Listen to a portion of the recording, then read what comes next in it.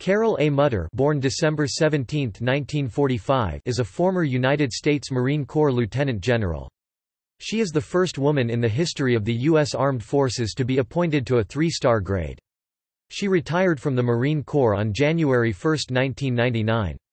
Her last active duty assignment was as Deputy Chief of Staff, Manpower and Reserve Affairs DC, S, M and RA at Marine Corps Headquarters in Washington, D.C.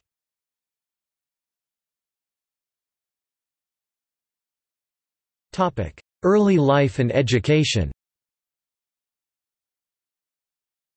Mutter was born on December 17, 1945 in Greeley, Colorado. In 1967 she was commissioned a second lieutenant in the U.S. Marine Corps upon graduation from the University of Northern Colorado. In addition to holding a BA degree in mathematics education and an honorary doctorate from the University of Northern Colorado, General Mutter has an MA degree in national security and strategic studies from the Naval War College at Newport, Rhode Island and both an MS and an honorary doctorate degree from Salve Regina University, also in Newport. Topic career After completing the Woman Officer Basic course in 1967 at Marine Corps Base Quantico, she was assigned to data processing installations at Quantico, Virginia and at Camp Pendleton, California. In 1971, she returned to Quantico as a platoon commander and instructor for women officer candidates and basic course lieutenants. She departed this tour as a captain. During 1973 to 1984, she progressed to the rank of lieutenant colonel while serving as project officer for Marine Air Command and Control Systems at Marine Corps Tactical Systems Support Activity at Camp Pendleton, CA, financial management officer at the Development Center, Quantico, Virginia, assistant chief of staff, controller, 1st Marine Aircraft Wing, Okinawa, Japan, and deputy controller at headquarters, Fleet Marine Force, Atlantic in Norfolk, Virginia. In 1985, capitalizing on her expertise in both data processing and financial management, she was assigned as the Deputy Program Manager, and subsequently Program Manager, for the development of new Marine Corps automated pay and personnel systems for active duty, retired, and reserve Marines. In July 1988, as a colonel, she joined the United States Space Command J3 Operations Directorate in Colorado Springs becoming the first woman to gain qualification as a space director.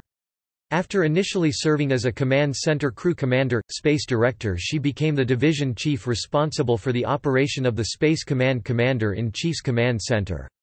August 1990 brought a transfer to 3rd Marine Expeditionary Force on Okinawa, Japan and duty as the Assistant Chief of Staff, Controller for both 3 MEF and 3rd Marine Division. In June 1991, she returned to Quantico as a brigadier general to serve as the deputy commanding general, Marine Corps Systems Command and program manager for command and control systems. In June 1992, she again transferred to Okinawa, this time as the first woman of general, flag officer rank to command a major deployable tactical command, the 3D Force Service Support Group, 3MEF, U.S. Marine Forces Pacific. In June 1994, she became the first woman in the Marine Corps to be promoted to the rank of Major General and served as Commander, Marine Corps Systems Command at Marine Corps Base Quantico until August 1996. On September 1, 1996, Mutter was promoted to Lieutenant General and assumed the duties as Deputy Chief of Staff for Manpower and Reserve Affairs DC, SM and RA.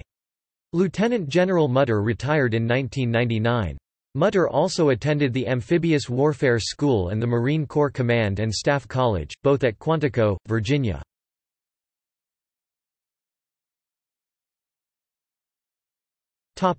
Personal life Mutter is married to James Mutter, who is a former U.S. Marine Corps colonel. In 2008, she spoke at the Republican National Committee.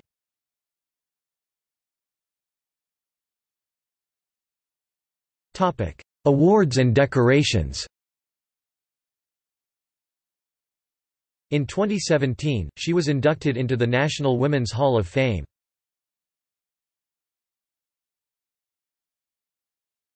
Topic: Firsts.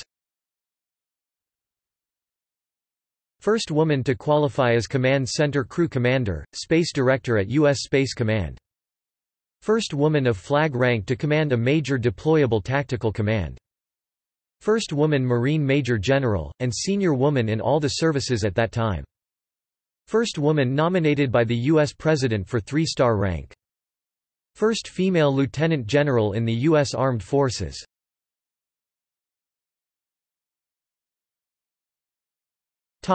See also List of female United States military generals and flag officers